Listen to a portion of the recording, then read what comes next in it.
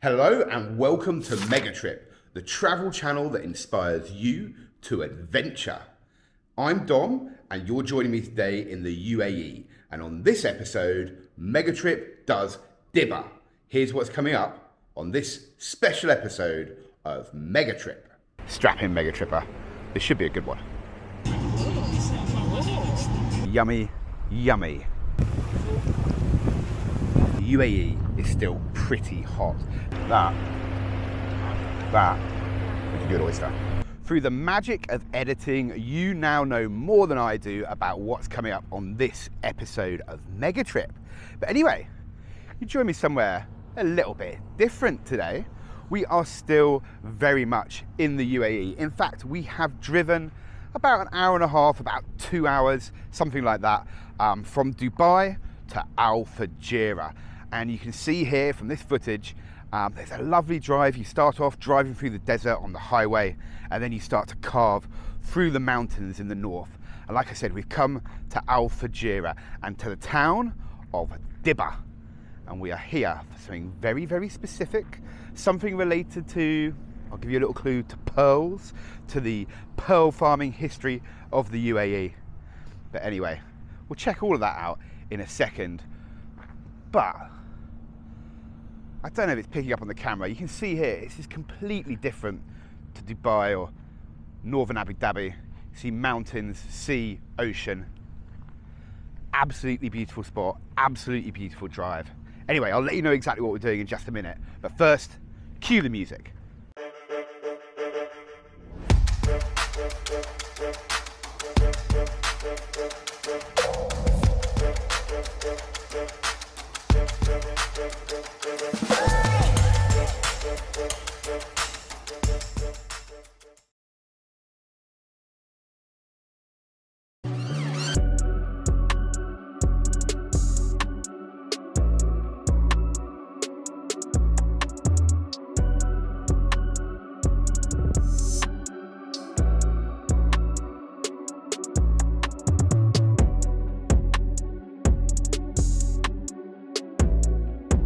Okay then, Mega Tripper.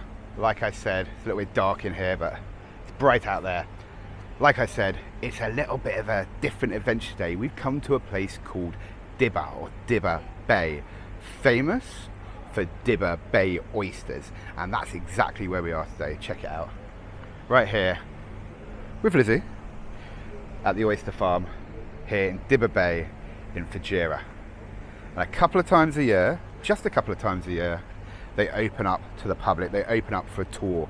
So today that's exactly what we're going to do. We're going to go check out the oyster farm itself on a nice boat, come back, have a tour of the facility, a look around, and then hopefully, most importantly, taste some of those yummy ozony oysters.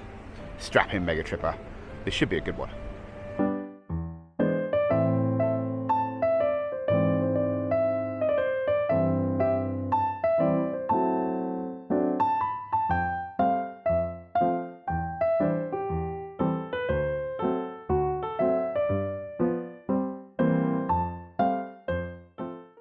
You haven't been to this region, then oysters may not instantly spring to mind. But just think about it just a little bit. Here we are on the coast bordering the Arabian Gulf and the Indian Ocean.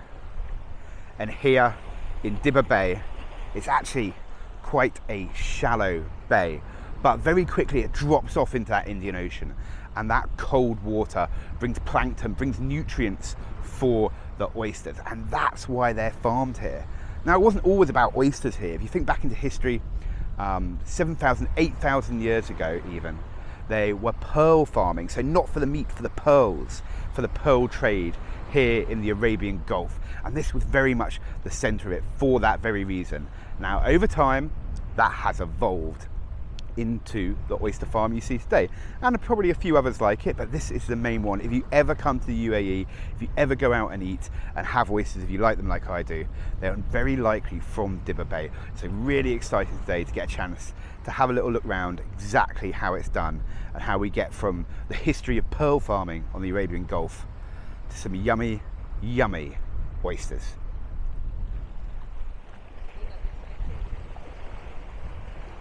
So right now we're just hanging around uh, before the tour starts. Uh, it's quite a long drive, so we left a little bit of an extra gap in there, but we've only got 10, 20 minutes, something like that, to, to wait before we can head out on the boat to go see the oyster farm. Now, I would say right now we're in October, the very start of October. And the UAE is still pretty hot. Certainly in Dubai, where we've driven from today, um, I think yesterday was a high of about 37, so it is getting a little bit cooler. What is nice, I guess, about here in Dibba Bay and Fujairah is actually we're on the coast with a nice little breeze. I'm still outside right now, direct sunlight. Feels like maybe, I don't know, 30 degrees, 32 degrees, something like that. Um, so it's a little bit cooler. So if you're here in a hot time of year, this could be this could be something to do to escape that desert heat.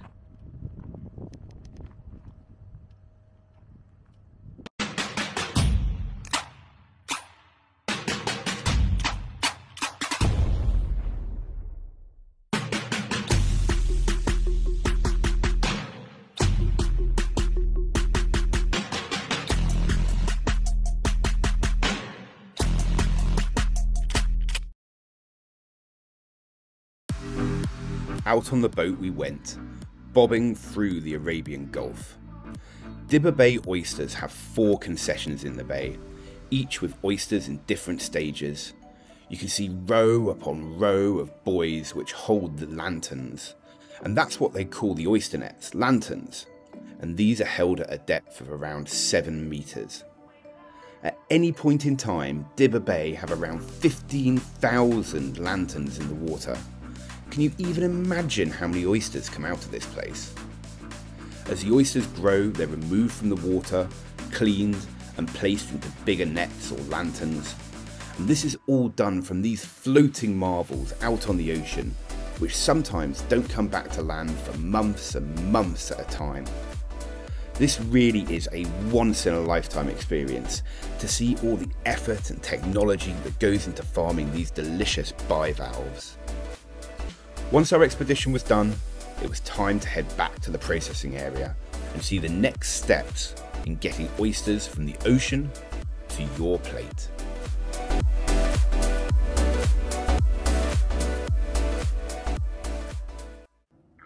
Back from the boat, we kicked off the factory tour by checking out the baby oysters, or sprats, in the form that they come to the farm. Here we can see thousands of the little blighters that are delivered at just a three millimeter size. The oysters themselves are not indigenous, but actually sourced from France. But for reasons of biosecurity, the oysters are triploid, which means they're infertile and cannot reproduce in the local waters of the United Arab Emirates. Before heading into the facility, we see the lanterns. These are the nets that the oysters grow in out in the bay the smallest size of net is just 3 millimeters, but over multiple cycles, they are finally moved into 24 millimeter diameter nets. Next, we head into the facility itself to see the oysters being cleaned by some of the 156 employees of the Dibba Bay Oyster Farm. After this, the oysters are sorted by this impressive machine. They're sorted automatically by weight with size 1 being the largest at 150 grams, going all the way down to size 5. This facility processes around 4.5 million oysters every single year. Once the oysters are sorted by size, they're put into clean water tanks with some very special tech. You'll have to visit yourself if you want all the details, but these tanks let the oysters purge their gut so they arrive to you clean and delicious. Finally, the oysters are packed into custom boxes that you can pick up in restaurants, shops like Spinneys, or even have delivered to your home along with your very own Dibba Bay shucking knife. It's hard to overstate just how impressive this facility is and the amount of work and technology that goes into producing these salty gems. Dibba Bay oysters are a great example of how the UAE is progressing in exciting industries such as this local fishery. The company is now owned and run by the Crown Prince of Fujairah, securing its future and providing the benefits for this burgeoning industry to the population of the emirate. So after the main event of heading out on the boat, we're back for the real main event, which is tasting the oysters themselves, and we have our traditional complements. We've got some uh, vinegar and shallot. These are French uh, French oysters that have been imported here. We've got uh, a little bit of Tabasco. Uh, can't go wrong with that. We've got a little some other kind of hot sauce, and I think we'll have some lemon coming as well. Now I'm a bit of a heathen. I like to have a little bit of everything on my oysters, but we'll get through those and see just how good these Dibba Bay oysters are in just a minute, I'm sure. Oh, here they come. Look at these guys. There's the lemon. Juicy, oystery goodness. You know what? Let's give it a little a little prep on this one. So I'm going to go a little bit of a condiment. The vinegar on there. A uh, slight little dash of Tabasco and lemon. Let's go the whole hog. I'm going to dive straight in here. Sorry, Lizzie. I'm filming it, so uh, I'm going to nick the first one. So let's give this a go. Cheers.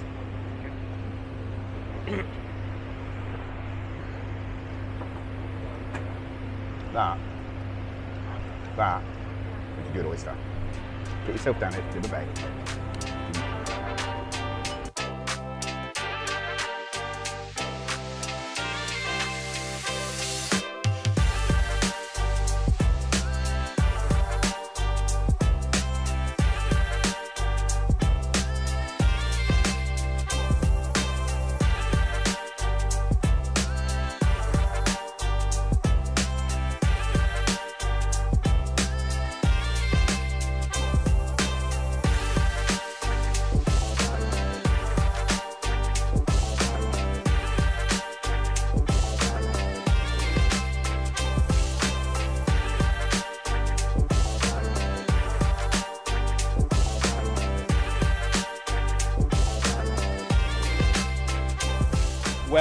Dear Mega Tripper, that was the main event, the eating of those yummy, yummy oysters down here in Dibba Bay in Fujairah. And just before I give you my kind of final summary of what I thought of this this day out, this little day trip um, from Dubai here in the UAE. Just remember, if you like this content, give it a little like. It's just a little thumbs up, up icon down there. Uh, give that a little click if you've got something to say, if you think we should have done something differently, a lot of you like to tell me the mistakes I make, please do drop that down in the comments. We love, love, love, love to hear from you. And of course, do make sure you subscribe, please. Most of you watching these aren't actually subscribed. Just subscribe. It's a little, the little bell icon down there. It costs you absolutely nothing. Just means you get a notification every single time I drop content uh, here on Megatrip. On Megatrip does Dibba. Uh, check this out. Actually, look at this big pile of oyster shells just lying here down by the beach, you can see the volume of oysters that must go through this place. Well, 4.5 million a year, as we heard earlier. Anyway, so Dibba Bay Oyster Tour. Look, it's not on all year round, so if you get the chance to go, absolutely, absolutely do. It's amazing. It was really interesting to see where these yummy little nuggets of sea goodness come from. Um, but I guess a couple of things of warning. You do have to get yourself here.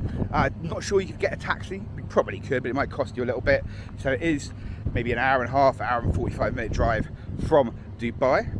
Uh, cost wise, it's about 700 dirham for two people, uh, so 350 each. So that's about 140 pounds, maybe 200 dollars. So it is on the expensive side, but I would say it is certainly worth it.